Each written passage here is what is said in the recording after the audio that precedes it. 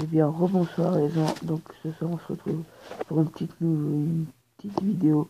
Donc, information.